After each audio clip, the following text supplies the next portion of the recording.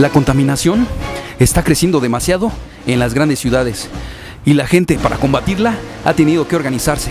Por eso, por ahí surgió la guerrilla jardinera o guerrilla gardening, que no es otra cosa que rescatar espacios abandonados y desérticos para transformarlos en hermosos jardines. Esto de manera nocturna.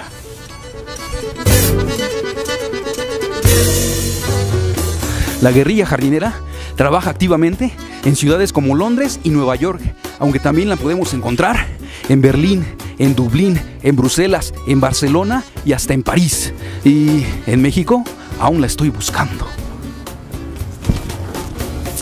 Un ejemplo de guerrillero jardinero es Richard Reynolds, quien desde el 2004 ha comenzado su cruzada eh, atacando y devastando espacios desérticos y abandonados en su natal Londres para transformarlos en hermosos jardines, no como estos.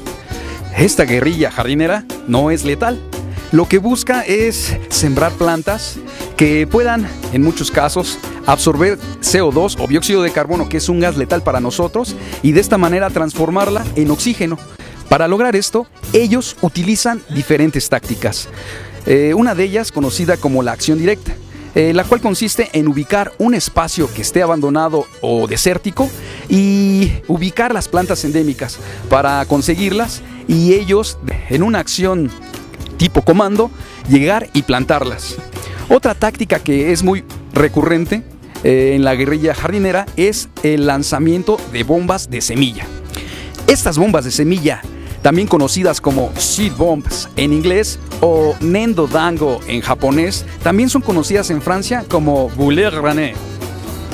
Y no es más que la mezcla de semillas de diferentes tipos, eh, principalmente de vegetales endémicos de la zona, eh, mezcladas con arcilla, un poquito de agua y formadas en esferas que pueden ser lanzadas a sitios de difícil acceso.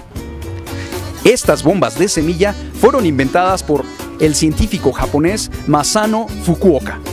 Fue tal el éxito de estas bombas de semilla que grandes extensiones de terreno fueron cultivadas. Por eso a estas bombas las denominaron armas de reforestación masiva. El objetivo es que los guerrilleros jardineros lancen estos misiles verdes en lugares de difícil acceso o en los que es muy riesgoso estar el tiempo necesario para realizar una siembra completita.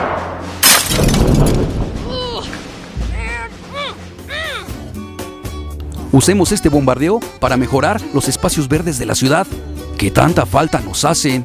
Y nos vemos en la siguiente videocolumna de la vereda sustentable. Con guerrillero incluido, pues con quién más. Nos vemos, no se vayan a perder.